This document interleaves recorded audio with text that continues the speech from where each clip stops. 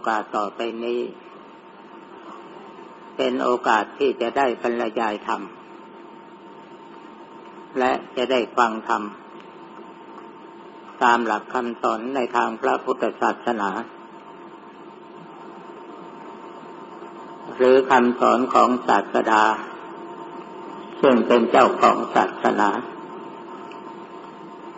ธรรมะที่จะออกสู่ท่านทั้งหลาย ในวันนี้ใครใครที่จะขอเต้นเกี่ยวกับเรื่องธรรมะอันเกี่ยวกับเรื่องชีวิตประจำวัน ในฐานะที่เราเป็นผู้นับถือพระพุทธศาสนา มีพระพุทธเจ้าเป็นพระบรมศาสดาเราอาจจะเข้าใจคำสอนของสมเด็จพระสัมมาสัมพุทธเจ้าดีพอสมควร แต่บางทีเราอาจจะสงสัยแคลงใจว่า ทั้งทั้งที่เรารู้ๆนั่นแหละ แล้วเราจะเอาธรรมะข้อไหนมาปฏิบัติ เพื่อจะให้ได้ชีวิตให้ได้ประโยชน์แก่ชีวิตประจำวันอย่างแท้จริง ดังนั้นก่อนอื่นขอทำความเข้าใจกับท่านผู้ฟัง ก่อนว่า พระพุทธศาสนา พระพุทธเจ้าสอนให้เราสร้างความรักความเมตตาปราณี อันนี้เป็นสิ่งที่ทุกคนจะต้องทำความเข้าใจ ในเมื่อเราเข้าใจในพุทธประสงค์ ว่าพระพุทธองค์สอนให้เราสร้างความรักความเมตตาปราณีเมื่อเราคิดที่จะสร้างความรักความเมตตาปราณี ตามพระโอวาทของพระพุทธองค์ เราจะยึดเอาธรรมะข้อไหนเป็นหลักในการปฏิบัติ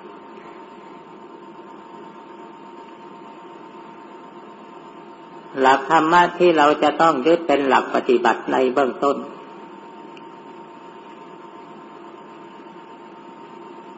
ก็คือคำสั่งของพระพุทธองค์มีอยู่ห้าประการ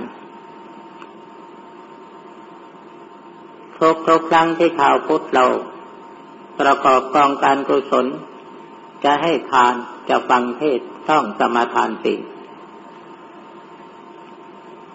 ทีนี้ก่อนหน้าที่เราจะได้สมาทานศีลห้าข้อ เราจะต้องปฏิญญาณตนถึง ผู้เป็นพระบรมศาสดาก่อน โดยเราปฏิญาณตนว่าพุทธังสรนังคัจฉามิ ข้าพเจ้าขอถึงพระพุทธเจ้าว่าเป็นสารณะที่พึ่งที่ระลึก ซึ่งในขณะที่เรากล่าวคำปฏิญญาณตรงตนถึงพระองค์ว่าเป็นสารณะ ถ้าสมมติว่าพระพุทธองค์มาประทับนั่งอยู่ต่อหน้าเรา หรือหากพระพุทธเจ้าท่านพูดได้ บางทีท่านอาจจะถามเราว่า จะเอาจริงหรือ จะยึดเราเป็นศาสดาเป็นครูสอนเป็นสารณะจริงหรือ ถ้าเราตอบว่าเอาจริงพระเจ้าค่ะ ถ้าจะเอาจริงแล้วปฏิบัติตามคำสั่งของเราได้ไหมคำสั่งของพระองค์ท่านคืออะไรคำสั่งของเราก็คือศีลห้าข้อที่ได้สมาทานไปแล้วนั่นอย่างไร ถ้าพอได้กินแล้วท่านผู้ใดว่าไม่ไหวแล้วปฏิบัติไม่ได้ พระองค์ก็จะบอกว่าช่วยไม่ได้เหมือนกันทำไมจึงเป็นเช่นนั้น ก็เพราะเหตุว่า หลักที่เราจะยึดเป็นหลักปฏิบัติเอาดีกับพระพุทธเจ้าอย่างแท้จริง ก็คือศีลห้าข้อเท่านั้น พระศีลห้าข้อนี้มันเป็นคุณธรรมที่เป็นแนวทาง ที่ให้เราสร้างความรัก ในเมื่อเรามีศีลห้าบริสุทธิ์บริบูรณ์เราก็มีแต่ความรัก ความรักเมื่อมันละเอียดอ่อนลงไป มันก็กลายเป็นความเมตตาปราณีหนักใจไหม ว่าการที่เราจะมารักษาศีลห้านี่หนักใจหรือเปล่า ถ้าเราพิจารณาดูให้ดีแล้ว ไม่มีสิ่งใดที่น่าหนักใจ ถ้าหากว่าท่านผู้ใด มีความจำเป็นจะต้องฆ่าสัตว์ตัดชีวิต ประกอบอาหารเลี้ยงชีวิตตามปกติ ก็เชิญตามสบาย แต่ถ้าอยากจะมีศีลห้ากับเขาหรืออยากปฏิบัติสมาศีลห้าเพื่อ เป็นมูลฐานสำหรับสร้างความรักความเมตตา ก็ให้ตั้งใจให้แน่วแน่ว่า ขึ้นชื่อว่ามนุษย์ฉันจะไม่ฆ่า ไม่เบียดเบียน ไม่ข่มเหงไม่รังแก ไม่อิจฉาตาร้อน รมีความจำเป็นจะต้องฆ่าสัตว์ประกอบอาหารเลี้ยงชีวิตเชิญตามสบาย แต่ว่ามนุษย์อย่าไปแตะต้อง ให้เราพยายามสร้างความรักความเมตตาปราณีในมนุษย์ให้มันสมบูรณ์เพียงพอการธรรมดาการสร้างคุณงามความดี ถ้าเราสร้างกันอยู่ไม่หยุดไม่หย่อน มันจะเพิ่มพลังงานมากขึ้นทุกทีทุกที เมื่อพลังแห่งความดีมันพร้อม มันจะแผ่คลุมไปถึงสัตว์เดรัจฉานเอง แล้วในที่สุดสัตว์เดรัจฉานเราก็จะฆ่าไม่ได้ เอากันอย่างนี้ดีกว่า ดีกว่าท่านที่จะไปคิดว่าไม่ไหวไม่ไหวท่าเดียวทำไมเล่า เราจึงจำเป็นต้องรักษาศีลห้าในระดับมนุษย์ เพราะศีลห้าเป็นกฎหมายปกครองบ้านเมือง ท่านผู้รู้ทั้งหลายลองพิจารณาดูให้ดีก็แล้วกัน ในเมื่อเรามีศีลห้าแล้ว มันจะเป็นคุณธรรมประกันความปลอดภัยของสังคม ป้องกันไม่ให้มนุษย์เกิดมีการฆ่ากัน จริงหรือไม่จริง ลองพิจารณาดู ทีนี้การฆ่ามันผิดศีลห้าข้อไหนผิดข้อปาลาติบัติในเมื่อเราก็เต้นจากการฆ่า การเบียดเบียนข่มเหงรังแกอิทธาริษยา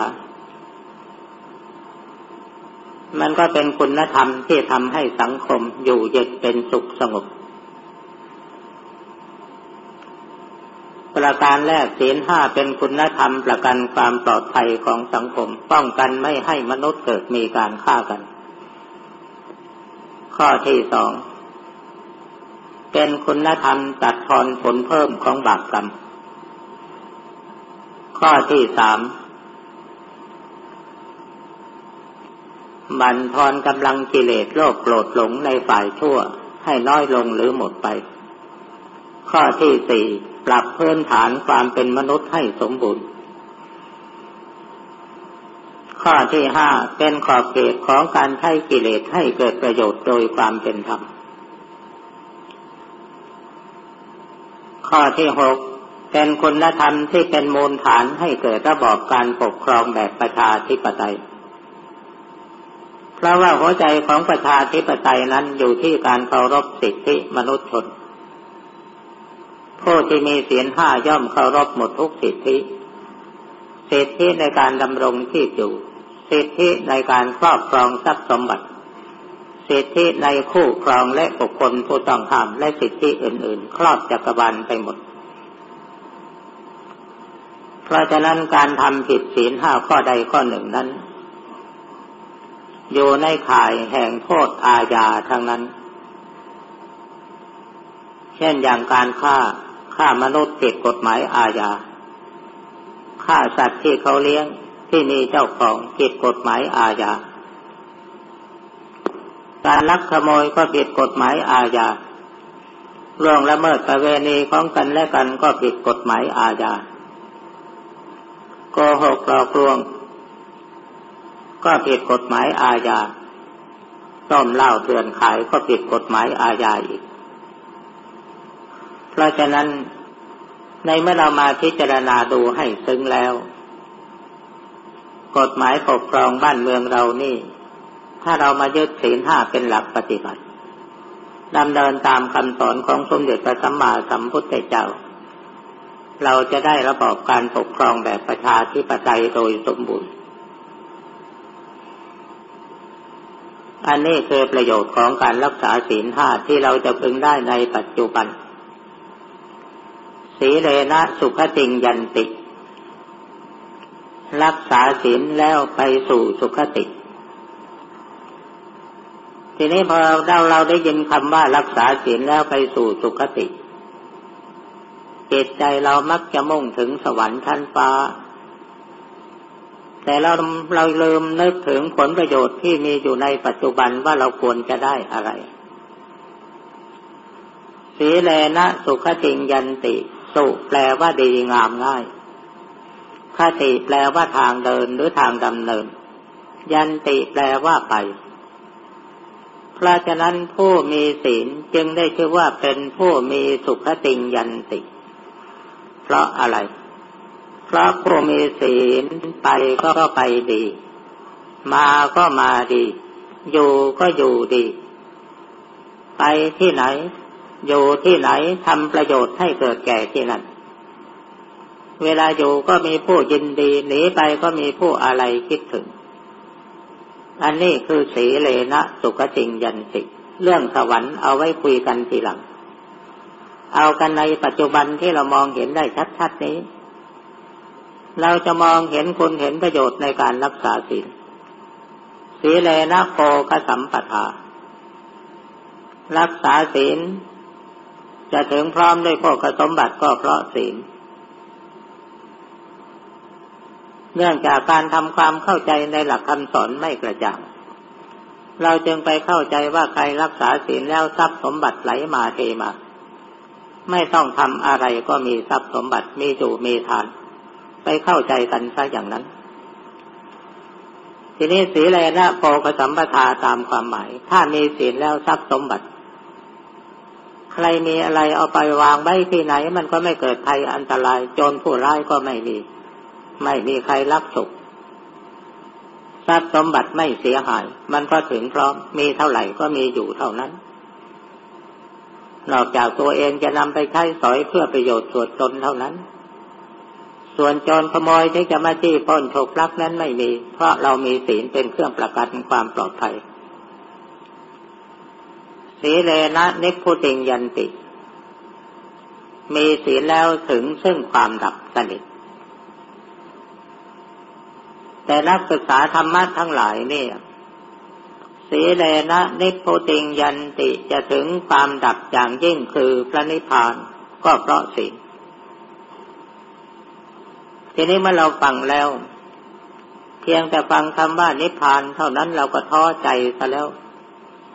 หรือบางทีเราอาจจะนึกสนุกนึกในใจว่าเรายังนึกอยากจะสนุกอยู่ในโลกนี้ เรายังไม่อยากไปพระนิพพาน เมื่อเป็นเช่นนั้นเราก็ไม่พอใจที่จะปฏิบัติ เพราะฉะนั้นต้องทำความเข้าใจเสียว่าสีเลนะสุขติงยันติ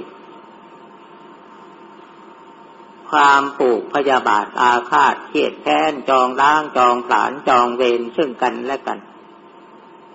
มันจะสดับหลับหลับ มันจะดับสนิทลงไปได้ก็เพราะอำนาจของศีลหมายถึงว่าเราเองไม่ได้ไปก่อกรรมทำเข็นให้ใครเดือดร้อน ไม่ได้ไปทุบไปตีใคร ไม่ได้ไปด่าใคร ไม่ได้ไปลักฉกทรัพย์สมบัติของใครไม่จี้ป้นท่อโกงใคร เราก็มีความอบอุ่นใจเพราะเรามีศีล ความอบอุ่นใจนั่นแหละคือวิหารธรรมเครื่องอยู่ของใจ เมื่อใจมีที่อยู่ที่อาศัย มีความอบอุ่นเพราะคุณธรรมทุกสิ่งทุกอย่างมันก็ดับ ดับภัย ดับเวรดับการพยาบาทอาฆาตเกียดแค้นสังคมของเราบ้านเมืองของเราก็จะพากันอยู่เย็นเป็นสุขเพราะอำนาจของศีล อันนี้คือการรักษาศีลห้าเพื่อประโยชน์แก่ชีวิตประจำวัน เพราะฉะนั้นขอให้ท่านพุทธบริษัททั้งหลายได้โปรดกรุณาพิจารณาให้มันซึ้งๆเกี่ยวกับการเรียนการปฏิบัติธรรมะพุทธบริษัทในเมืองไทยเรานี่ บางท่านก็ยังเข้าใจผิดในคำสอนของพระพุทธองค์ ช่นบางท่านไปกล่าวว่า ธรรมะบางข้อในทางพระพุทธศาสนา พระสงฆ์ก็ไม่ควรนำมาสอนชาวบ้าน เพราะจะทำให้ชาวบ้านทั้งหลายที่เกียจกอมืองอเท้า เช่นคำว่าสันโดษมักน้อยเป็นต้น อันนี้เราก็ตีความหมายคำว่าสันโดษมักน้อย ผิดไป แต่ส่วนใหญ่เรามักจะพูดตะเลิดไปถึงว่า พอพูดพูดถึงสันโดษแล้วเราก็จะตะเลิดไปถึงคำว่ามักน้อย แต่ความจริงสันโดษกับมักน้อยมันคนละอัน มันไม่ใช่อันเดียวกัน สันโดษแปลว่าความพอ พอนี่เราจะต้องทำความเข้าใจกันอีกพอในสิ่งที่เรามีอยู่ หมายถึงสิ่งที่เป็นกรรมสิทธิ์ของเรา ท่านหมายถึงพออย่างนี้ ทีนี้สิ่งที่เรามีอยู่ทรัพย์สมบัติ วิชาความรู้ความสามารถ สมรรถภาพในการทำงาน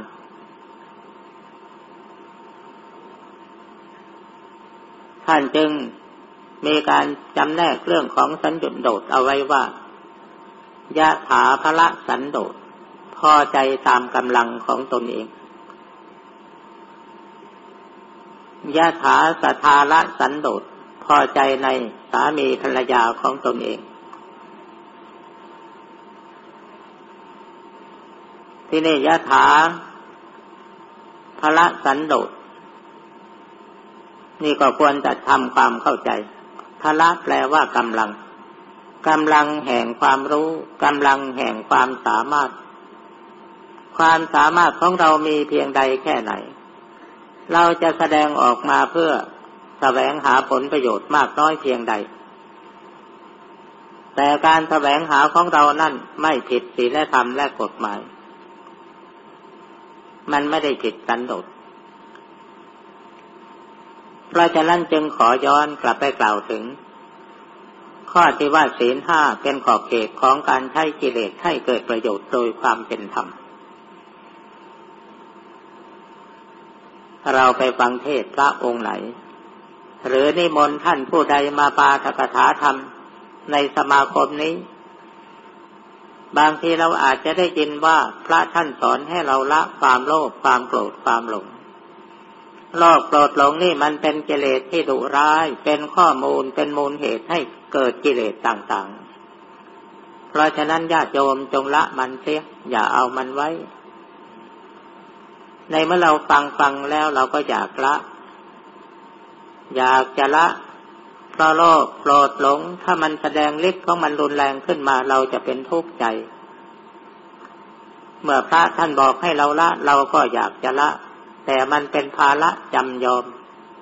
เราละมันไม่ได้ ในเมื่อเราละมันไม่ได้ เราทำอย่างนี้ดีไหมกิเลสรอบโปรดสองนี่มันเปรียบเหมือนไฟ ไฟมีคุณมหัน มีโทษก็อนันต์ทีนี้ถ้าหากว่าใครสติปัญญาอ่อนใช้ไฟไม่เป็นเกิดอุบัติเหตุเผาบ้านเผาเรือน แต่ถ้าหากว่าท่านผู้ใดมีสติปัญญา สามารถที่จะใช้ไฟให้เกิดประโยชน์อย่างมหาศาล เช่นอย่างบางคนเขาสามารถใช้กำลังไฟสร้างจรวดไปลงดวงดาวดวงเดือนได้ อันนั้นคือประโยชน์ของไฟ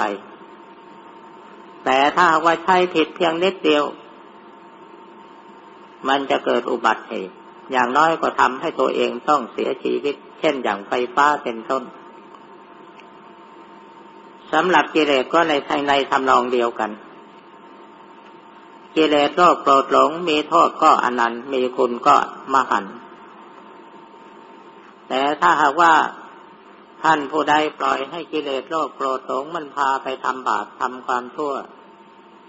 มันก็เกิดความเสียหาย นอกจากจะเป็นความเสียหายส่วนตัวแล้วยังต้องทำให้สังคมต้องพินาศเสียหายไปด้วย ตลอดทั้งประเทศชาติบ้านเมือง อันนี้คือโทษที่ใช้กิเลสไม่ถูกทาง เพราะฉะนั้นเพราะเหตุที่กิเลสเนี่ยมันยังมีประโยชน์สำหรับประชาชน พระพุทธเจ้าจึงตีเส้นตายเอาไว้ ว่าใครจะใช้กิเลสให้มันเกิดประโยชน์ อย่ากระโดดข้ามเส้นขนาดนี้ เส้นขนาดนี้ก็คือศีลห้าข้อนั่นเอง กิเลสโตโปรดหลงมีอยู่ในใจเราเอาให้มันกระตุ้นเตือนใจให้เกิดความทะเยอทะยาน ในความอยากดีได้อยากดีอยากมีอยากเป็น สิ่งที่มวลมนุษย์ทั้งหลายพากันต้องการอยู่นี่ มันมีอยู่เพียงห้าอย่างเท่านั้นแหละท่านผู้ฟังหนึ่งลาบได้แก่ผลประโยชน์สองยศได้แก่ตำแหน่งหน้าที่การงานยศถาบรรดาศักดิ์ สามสรรเสริญชื่อเสียงที่ดีงามสี่ความสุขห้าอำนาจห้าอย่างนี้ทุกคนมีสิทธิเสรีภาพในการแสวงหา แต่ว่าการแสวงหาก็ควรจะมีขอบเขตขอบเขตที่แน่นอนที่สุดก็คือศีลห้าข้อ ใครมีกิเลสมากน้อยเพียงใดถ้า เราแสวงหาผลประโยชน์ดังกล่าว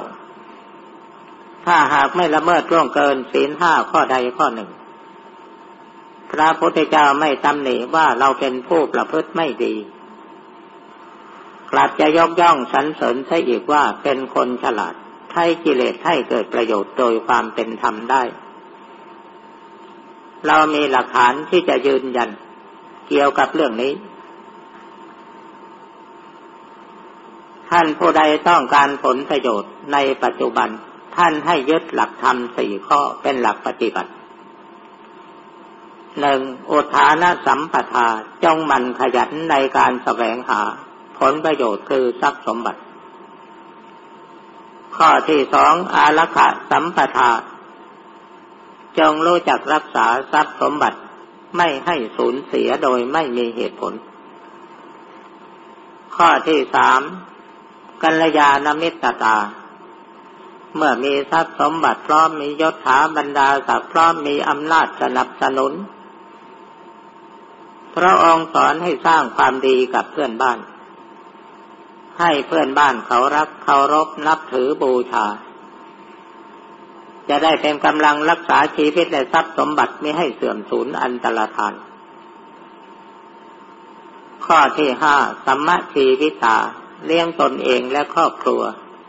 ตลอดชนบริวารให้มีความสุขสบายตามสมควรแก่ฐานะ อันนี้หลักท่านสอนไว้อย่างนี้ จึงเป็นหลักฐานยืนยัน ให้เราทำความเข้าใจว่าพระพุทธองค์ไม่ได้สอนให้เราละกิเลสถ่ายเดียว แต่ว่าสอนให้ละนั่นน่ะละ แต่เมื่อเราละไม่ได้เราต้องหาเอาประโยชน์ จากอำนาจของกิเลสโดยความเป็นธรรม เพราะฉะนั้นขอท่านผู้ฟังทั้งหลายพึงทำความเข้าใจคำสอนของสมเด็จพระสัมมาสัมพุทธเจ้าให้ดี ถ้าบางทีเราเข้าใจไม่แจ่มแจ้ง เราอาจจะสงสัยว่าทำไมพระพุทธองค์สอนกันอย่างนี้ เพราะฉะนั้นในการปฏิบัติเพื่อ จะสร้างความสุขความสบาย ให้แก่ตนเองครอบครัวและสังคม ตลอดทั้งประเทศชาติถ้าจะเอาหลักคำสอนของพระพุทธเจ้าไปปฏิบัติ มันก็คือศีลห้านั่นแหละ เป็นหลักที่ตายตัวได้แน่นอนที่สุด ในปัจจุบันนี้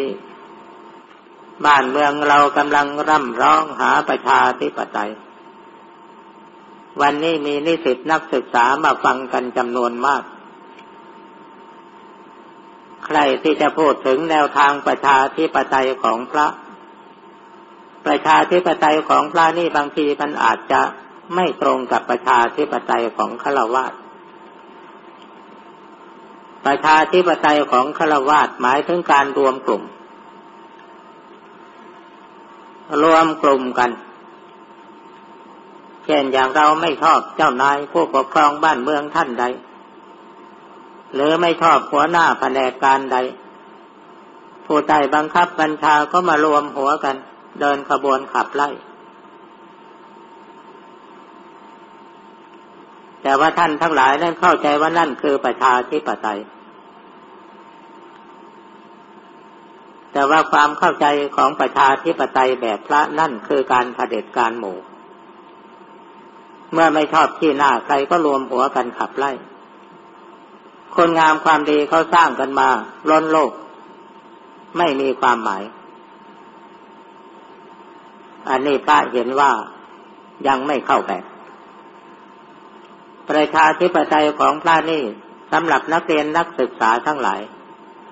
ควรจะได้ทำความเข้าใจอย่างนี้ ปัจจุบันนี้พวก คนพ่อคนแม่ส่งเรามาเรียน ตั้งใจเรียน เรียนให้มันจบ พอเรียนจบ ในในระดับที่เราต้องการ จบปริญญาตรีโทเอกในเมื่อจบแล้วรีบไปหางานทำในเมื่อทำงานได้มีรายได้ ก่อนอื่น ให้ถามคุณพ่อคุณแม่ก่อน ไปจำลองจำนำเอาเงินมาส่งพวกเราเรียน ถ้าใครไม่มีก็แล้วไป แต่ว่าถ้าของใครมีรีบเก็บหอมรอมรีบไถ่ถอนทรัพย์สมบัติคืนให้คุณพ่อคุณแม่ให้หมด อันนี้เคยจุดเริ่มประชาธิปไตยจุดแรกของพระทีนี้เมื่อหมดธุระอันนี้แล้วรีบเก็บพร้อมรอมริบเพราะอนาคตเราจะต้องมีครอบครัว ในเมื่อเรามีครอบครัวแต่งงานแต่งการ ถ้าเราสามารถมีที่ดินเป็นของของตนมีบ้านเป็นของของตน มีรถยนต์นั่งไปทำงาน มีรายได้พอที่จะเลี้ยงตนในครอบครัว มีเหลือเก็บบ้างเราเก็บสะสมทรัพย์สมบัติเอาไว้ สร้างฐานะของตนเองให้มีความมั่นคง มีบ้านมีช่อง มีเงินมีทอง มีคนรับใช้รับสอย ในเมื่อเราสร้างฐานะของเราให้ มีความสมบูรณ์เต็มที่ เราช่วยเหลือตัวเองได้ไม่ต้องไปพึ่งพาอาศัยใคร เราก็เป็นใหญ่ ไปเป็นใหญ่ใคร เป็นใหญ่เราเองละสิ เรามีฐานะดีเราก็เป็นใหญ่ เป็นอาธิปไตยแก่ตัวเอง ทีนี้ในเมื่อเราหลาย ๆ ครอบครัวที่มีหลักมีฐานมั่นคงดี รวมกันเป็นหมู่บ้าน เป็นตำบล เป็นอำเภอ เป็นจังหวัดล้วนแต่แต่แต่ผู้มีฐานะดีๆ กันทั้งนั้น ช่วยตัวเองได้ รัฐบาลหายห่วงไม่ต้องนำของไปแจกบ้านเมืองเราก็เต็มไปด้วยบุคคลผู้เป็นใหญ่เป็นอิสระ หลายๆ ครอบครัวที่มีหลักฐานมั่นคงรวมกันเข้าเป็นหมู่เป็นพวกก็เป็นประชา ถ้าเป็นหมู่บ้านก็เป็นหมู่บ้านประชาธิปไตย เป็นตำบลก็ตำบลประชาธิปไตย เป็นอำเภอก็อำเภอประชาธิปไตย เป็นจังหวัดก็จังหวัดประชาธิปไตย เป็นประเทศก็เป็นประเทศประชาธิปไตย เพราะมีแต่คนเป็นใหญ่ เป็นใหญ่เป็นอิสระช่วยตัวเองได้ ไม่ต้องคิดว่าเราจะต้องไปเป็นเจ้าเป็นนายใครอันนี้คือหลักประชาธิปไตยการสร้างประชาธิปไตยของพระมันเป็นอย่างนี้ผิดถูกอย่างไรขอฝากนักนิสิตนักศึกษาทั้งหลาย และท่านผู้รู้ทั้งหลาย เอาไปพิจารณาที่ได้กล่าวมาในตอนต้นนั้น เป็นประโยชน์ของการรักษาศีลห้า แล้วเป็นคุณธรรมที่พระพุทธเจ้าให้ยึดเป็นแนวทางสำหรับสร้างความรักความเมตตาปราณี เมื่อเรารักษาศีลห้าแม้ในระดับของมนุษย์นี่ให้บริสุทธิ์บริบูรณ์ดีแล้ว เราพยายามนึกเสมอว่าบ่ายพระสวดมนต์เช้าเย็นเรานึกเสมอว่าขอเพื่อนมนุษย์ของเรานี่ จงมีสุขกายสุขใจอย่าได้เบียดเบียนซึ่งกันและกันจงมีสุขรักษาตน ให้พ้นภัยทั้งปวงเถิด อันนี้คือการปฏิบัติศีลห้าเพื่อประโยชน์ในชีวิตประจำวัน ไม่ต้องไปกล่าวถึงสวรรค์นิพพานอะไรไว้ก่อน อันนั้นเอาไว้คุยกันทีหลัง เรามาช่วยกันปรับพื้นฐานระดับนี้ให้มันสมบูรณ์ดี อันนี้มันเป็นพื้นฐานที่รองรับคุณนธรรมเบื้องสูงขึ้นไป มีศีลห้าแล้ว เราก็เป็นมนุษย์โดยสมบูรณ์ นี่เราภูมิใจว่าเราเป็นมนุษย์โดยสมบูรณ์ แต่บางทีเราก็ลืมนึกลืมนึกถึงตัวเองในบางครั้งบางขณะ เอาละจะขอถือโอกาส พูดถึงหลักการพิจารณาตนว่าเราเป็นมนุษย์สมบูรณ์หรือเปล่า เรามีหลักที่จะพึงให้ท่านพิจารณาอยู่สี่ข้อ ข้อหนึ่ง ในขณะใด ที่จิตใจของเราเกิดโหดเที่ยมหรือโกรธจัด อยากจะคิดทำอะไรตามอำเภอใจ นึกจะฆ่าฆ่า นึกจะแย่งจริง แย่งจริง แล้วไม่ได้คำนึงถึงความเดือดร้อนของคนอื่น ในขณะนั้นกายของเราเป็นมนุษย์แต่จิตใจของเรา ลดระดับต่ำลงไป ถ้าศีลห้าขาดข้อหนึ่ง มันลดระดับต่ำลงไป กลายเป็นมันมนุษย์แต่ใจเป็นอย่างอื่น ในขณะใดจิตใจพวกเรามีความเมตตาปราณีมีความเอื้อเฟื้อเผื่อแผ่เห็นอกเขาอกเรา ในขณะนั้นกายของเราเป็นมนุษย์จิตใจของเราก็เป็นมนุษย์โดยสมบูรณ์ ในขณะใดจิตใจของเรามีเหริความละอายบาปโอตปะสะดุ้งกลัวต่อบาปไม่กล้าทำบาปทั้งในที่ลับและในที่แจ้ง ขณะนั้นกายของเราเป็นมนุษย์ แต่ใจของเราเป็นเทวดา ถ้าขณะใดเราบำเพ็ญสมาธิภาวนาทำจิตให้สงบนิ่งสว่างรู้ตื่นเบิกบาน เป็นจิตพุทธะ ในขณะนั้นกายของเราเป็นมนุษย์แต่ใจของเราเป็นพระพรหมพระพรหมแปลว่าผู้มีจิตใจสว่างสวัยอันนี้คือหลักที่เราจะใช้เป็นหลักพิจารณาตนเองว่าเราเป็นอะไรในขณะปัจจุบันนี้ แล้วเราก็รู้แล้วเราก็พยายามปรับระดับจิตใจของเราเนี่ย ให้มันอยู่ในระดับที่เป็นมนุษย์เป็นอย่างต่ำ สูงขึ้นไปก็เป็นเทวดา เป็นพระพรหมเมื่อเป็นเช่นนั้นสังคมของเราก็จะมีแต่ความสุขความสบาย การปฏิบัติธรรมจะเอาดีกับพระพุทธเจ้าสำคัญอยู่ที่ศีลเป็นเรื่องสำคัญ เรื่องสมาธิภาวนานี่ใครจะทำได้ดีพิเศษไปถึงไหน แต่ว่าศีลไม่บริสุทธิ์ ก็ไม่สามารถที่จะ ประกันความปลอดภัยของชีวิตได้ เพราะฉะนั้นพระพุทธเจ้าบัณฑิตท่านจึงว่า ตัดสมาธิลังบีโซทะเย เพราะฉะนั้นสาธุชนพึงทำละศีลให้บริสุทธิ์เอาทีนี้ในอันดับต่อไปนี้ จะได้พูดถึงเรื่องการปฏิบัติสมาธิภาวนาบ้างละ การปฏิบัติสมาธิภาวนาในขณะนี้ท่านก็ได้ปฏิบัติสมาธิอยู่แล้ว ในขณะที่เราตั้งใจกำหนดฟัง ฟังพระท่านเทศฟังพระท่านบรรยาย เรามีสติจดจ่อรู้อยู่ที่จิตของเราใจของเรา หรือจดจ่อต่อการฟังเราก็ได้ปฏิบัติสมาธิอยู่ตลอด เวลาที่พระได้บรรยายธรรมมา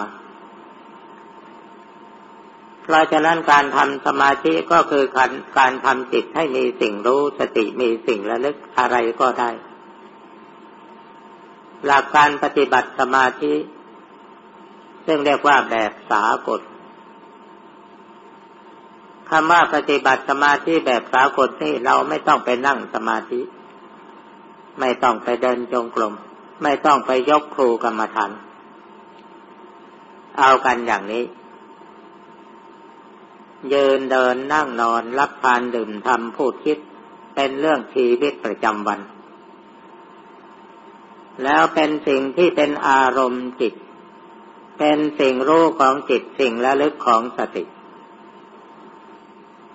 ผู้สมัครใจจะปฏิบัติสมาธิ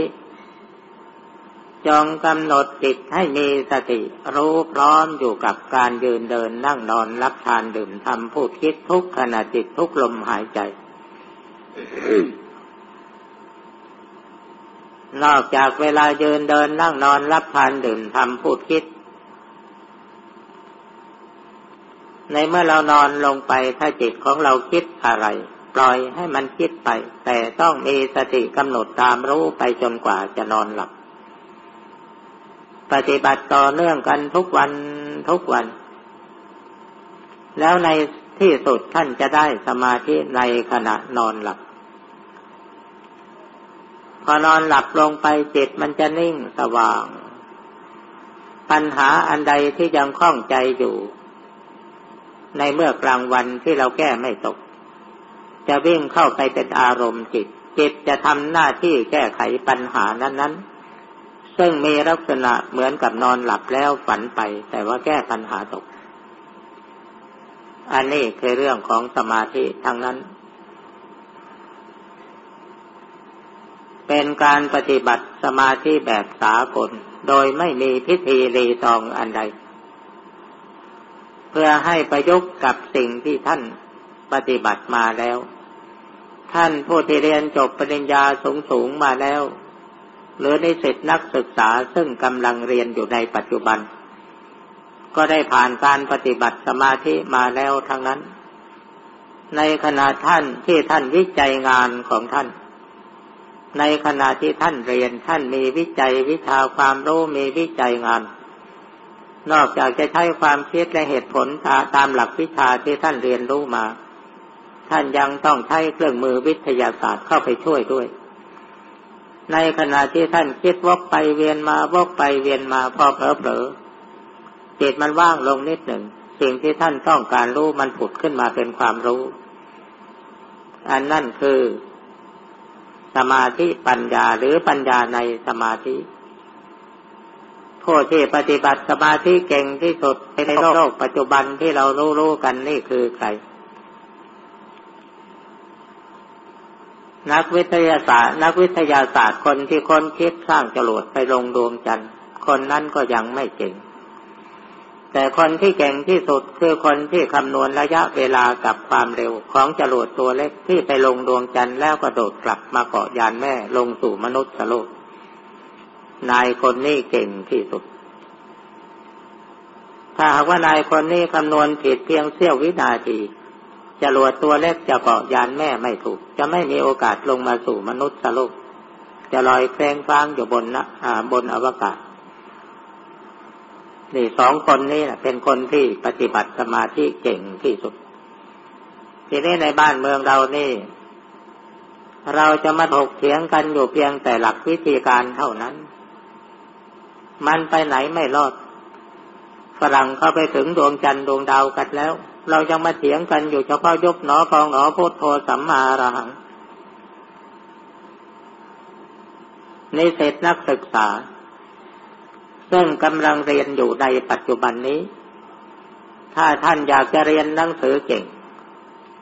เวลาท่านเข้าห้องเรียนเวลาอาจารย์มาสอน พออาจารย์มายืนหน้าห้อง ให้ท่านมองจ้องที่ตัวอาจารย์ ส่งใจไปรวมไว้ที่ตัวอาจารย์จะให้สายตาและใจไปอื่น ปฏิบัติต่อเนื่องกันทุกวันที่มีอาจารย์มาสอน ถ้าท่านปฏิบัติต่อเนื่องกันทุกวันทุกวันทุกชั่วโมงที่มีอาจารย์มาสอน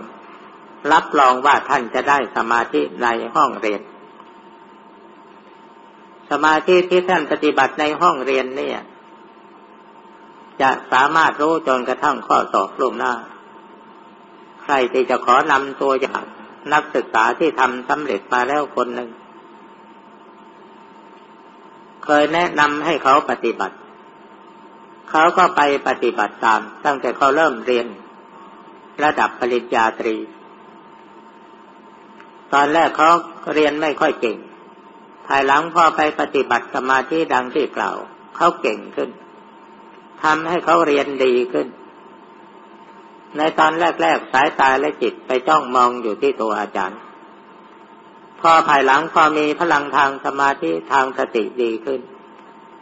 ความรู้สึกทางใจมันย้อนมาเตรียมพร้อมอยู่ที่ตัวเอง แต่สายตายังจ้อง มาตอนนี้อาจารย์อธิบายอะไรให้ฟัง พออาจารย์พูดจบปั๊บจุดหายใจ เขาสามารถที่จะรู้ล่วงหน้าว่าต่อไปอาจารย์จะพูดอะไรเวลาไปสอบพออ่านคำถามจบ ใจมันโบกไปนิดหนึ่งคำตอบก็ปุดขึ้นมาเขียนเอาเขียนเอา ไม่ต้องใช้ความคิด เวลาก่อนหน้าจะสอบใจมันบอกแล้วว่า ข้อสอบจะออกที่ตรงนั้นตรงนั้น ที่หนังสือเล่มนั้นหน้านั้น แล้วพอพอไปสอบจริงๆมันก็ออกมาจริง ๆ นักศึกษาคนนี้เมื่อเขาเรียนจบปริญญาโทไปสมัครสอบ แข่งขันจะไปเป็นอาจารย์สอนมหาวิทยาลัยเชียงใหม่ ข้อสอบผ่านข้อเขียนผ่านไป ยังเหลือสัมภาษณ์พอถึงวันที่จะสัมภาษณ์เขานั่งอยู่ที่บ้านเขาพอคิดขึ้นมาว่าวันนี้จะถูกสัมภาษณ์เรื่องอะไรคำถามมันก็โผล่ขึ้นมาคำตอบก็ปุดขึ้นมารับ รู้ลวงหน้าหมดทุกข้อ พอไปถึงสนามสอบกรรมการ พอกรรมการถามปั๊บตอบปุ๊บถามปั๊บตอบปุ๊บพอจบคำถามตอบได้ทันที กรรมการท่านถามว่าทำไมหนูถึงได้เก่งนักหนูฝึกสมาธิ ไปฝึกสมาธิที่ไหนสำนักใด ตาหนูสอนให้ฝึกในห้องเรียน แล้วผลมันก็เกิดขึ้นมาอย่างนี้ อันนี้เป็นตัวอย่างของบุคคลผู้ที่ปฏิบัติได้ผลมาแล้ว เพราะฉะนั้นจึงขอย้ำอีกทีหนึ่งว่านิสิตนักศึกษาที่ต้องการเรียนเก่ง เมื่อเวลาอาจารย์มาสอน ท่านมาเยินหน้าห้องให้มองจ้องที่ตัวอาจารย์ ส่งใจไปรวมไว้ที่ตัวอาจารย์จะให้สายตาและใจไปอื่น ให้จ้องมองอยู่อย่างนั้น มีอะไรจดรีบจด จดแล้วรีบมอง ปฏิบัติต่อเนื่องกันทุกชั่วโมงที่มีอาจารย์มาบรรยายหรือมาสอน แล้วในที่สุดเราจะได้สมาธิสนับสนุนการเรียนการศึกษาของเราดีขึ้น ทีนี้เมื่อเราเรียนจบเรายังจะได้ใช้พลังสมาธิอันนี้ไปเพื่อประโยชน์แก่ชีวิตประจำวันได้เป็นอย่างดี ทีนี้การปฏิบัติสมาธิอันใด ถ้ามันไปรู้สึกว่ามันไปขวางขวางกับเรื่องชีวิตประจำวันเนี่ย มันไม่ถูก ปฏิบัติสมาธิได้แล้วเป็นแล้วเนี่ย จะต้องมีความรักเคารพบูชาพ่อแม่ครูบาอาจารย์เป็นอย่างยิ่ง เมื่อพ่อแม่ครูบาอาจารย์ของเราบอกว่าอย่านะลูกหยุดทันที เขาจะไม่กล้าที่จะฝ่าฝืนอันนี้ ได้ตัวอย่างจากบุคคลผู้ที่เขาปฏิบัติสำเร็จมาแล้ว การปฏิบัติสมาธิไม่ได้มุ่งอยู่ที่ว่าเราจะต้องสร้างอิทธิฤทธิ์ให้เกิดความรู้อะไรต่างๆ ซึ่งตามนุษย์ธรรมดาไม่รู้ไม่เห็น โจทย์มุ่งหมายก็เพื่อจะสร้างพลังจิตของเราให้มีพลังสมาธิคือความมั่นคง พลังของสติสัมปชัญญะจนกระทั่งเกิดปัญญา